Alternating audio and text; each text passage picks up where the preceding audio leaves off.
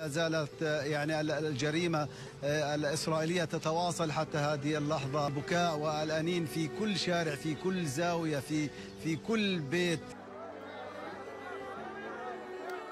استشهاد مراسل تلفزيون فلسطين. الصحفي محمد أبو حطب. أعلن تلفزيون فلسطين. استشهاد الصحفي محمد أبو حطب. هو و11 من عيلته. جراء قصف إسرائيلي على بيته في مدينة خان يونس. وإن القصف العنيف لمنزل عائلة أبو حطب.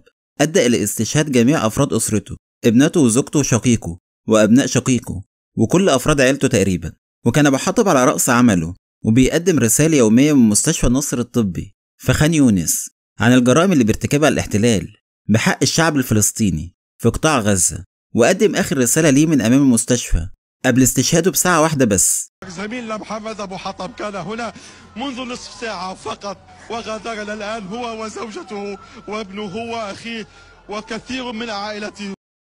ولحد هنا يكون الفيديو خلص. إلى اللقاء فيديو جديد وخبر جديد.